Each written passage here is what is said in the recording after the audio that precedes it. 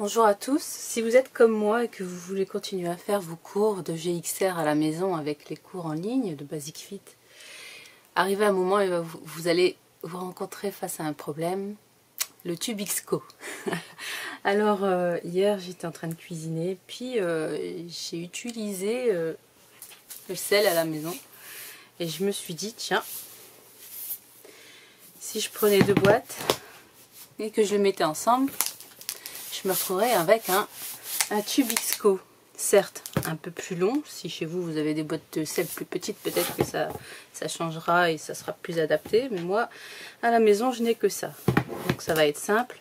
Je vais utiliser du scotch. Alors on peut utiliser du scotch comme ça ou alors du scotch renforcé. Étant donné que c'est quelque chose qui va être utilisé, euh, on va dire, intensivement. moi, je vais préférer mettre celui-là.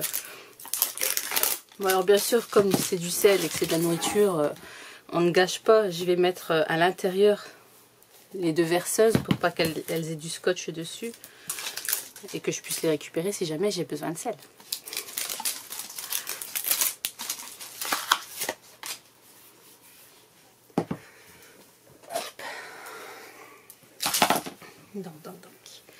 Alors bah, il va s'agir juste de scotcher les deux boîtes de sel ensemble. D'abord j'en mets un petit bout histoire de dire qu'elle ne bouge plus, puis ensuite je renforcerai.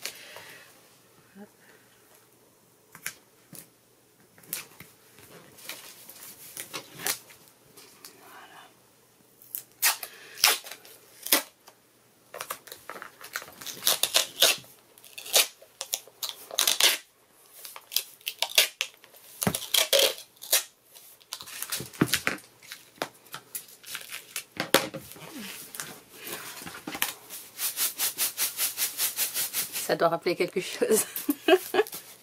Donc ça va aller. Bon maintenant ce que je vais faire c'est que je vais quand même euh, scotcher sur toute la longueur et surtout les extrémités pour pas que le sel ne sorte. Mais vous avez compris l'idée.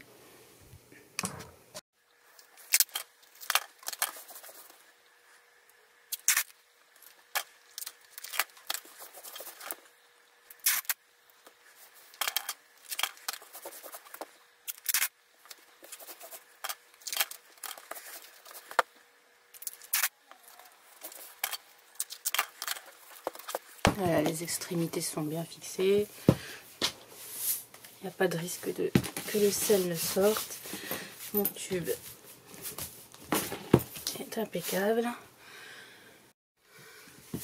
Donc voilà, tout est scotché, tout est sécurisé on va dire.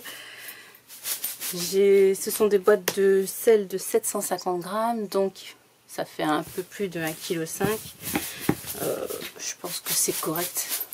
Au niveau de la taille, c'est vrai que le tube est un peu plus petit en temps normal. Mais je pense que ça devrait aller. C'est mieux que ne pas avoir de tube. Bon, ben, bon confinement à tous. Prenez soin des vôtres. À bientôt.